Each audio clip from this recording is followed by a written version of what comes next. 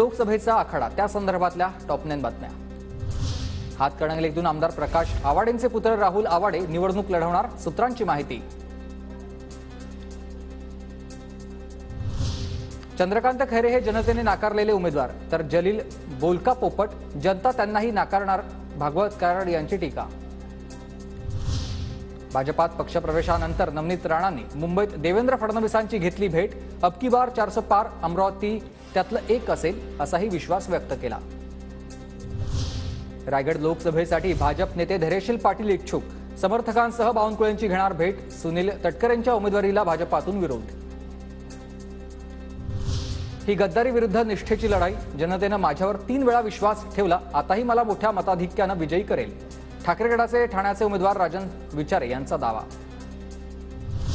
धाराशिवची जागा राष्ट्रवादीच्या कोट्यातून लढा. आमदार राणा जगजितसिंह पाटील यांना राष्ट्रवादीकडून विचारणा मात्र राणा पाटलांचा नकार असल्याची माहिती. मनसेचा महायुतीत समावेश होणार. शिंदे फडणवीस आणि राज ठाकरे एकत्रित घोषणा करणार. मनसेसोबत आमचे संबंध आधी अदृश्य होते. लवकरच दृश्य स्वरूपात दिसतील.